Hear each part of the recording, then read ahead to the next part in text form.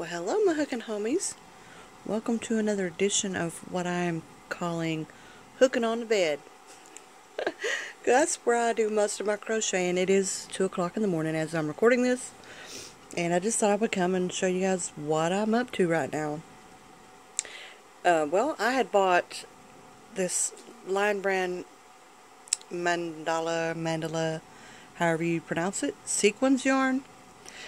And even though there are 295 yards per cake, it is a lightweight 3.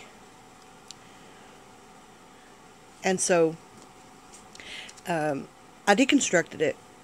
But here's why. It's a sequins yarn, but the sequins is super sparse in it. Like, really, really sparse. And of all the stitches I was thinking of trying, mm, you know, the majority of the sequins would end up lost on the, the back side of the project. I gotta hit pause for just a second.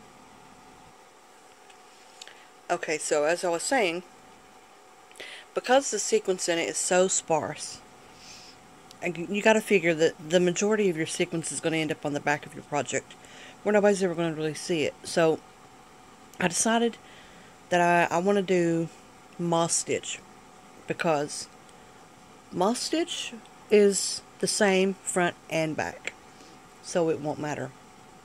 And even further than that it'll either be um, a scarf or a cowl preferably a cowl but we'll see.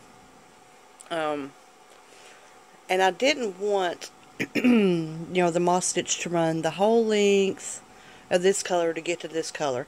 I want my moss stitch to be a different a different color each row so that it really changes it up and does it kind of like my um, wild, wild, bleh, what did I call it? Wild flowers uh, stitch blanket that I did, you know, about a month ago, if anybody keeps up with me. So, I really loved how doing each row in a different color really just made it pop. So I wanted to do that here. And by doing that, it'll really mix the, the stitches uh, really beautifully. I'm sorry. My brain is ahead of my tongue.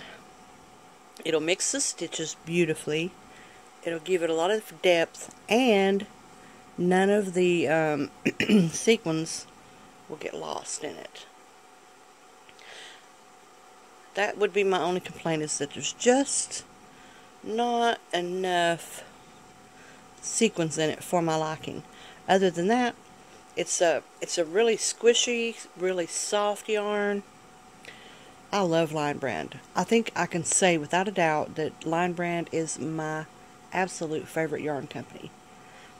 I love all kinds of yarns, and I have all kinds of yarns, but it does seem to me that, you know, Lion Brand is continuously working on being inventive and coming out with all kinds of new things to keep their lines new and fresh and updated.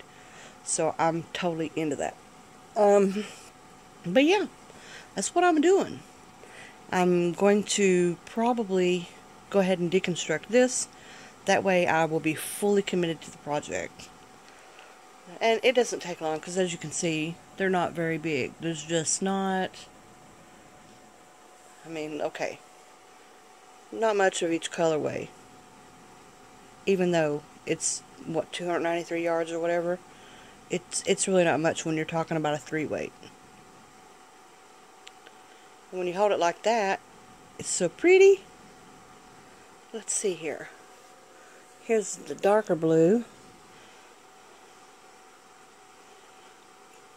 Whoop. Maybe it'll capture that for the uh, thumbnail pic. That would be that would be awesome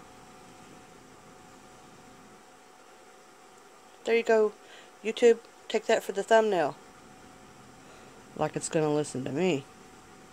But anyway, I decided I would share what I'm up to, and now I'm going to get busy deconstructing this one. Alright, guys. Have a great whenever you see this. Talk to you later.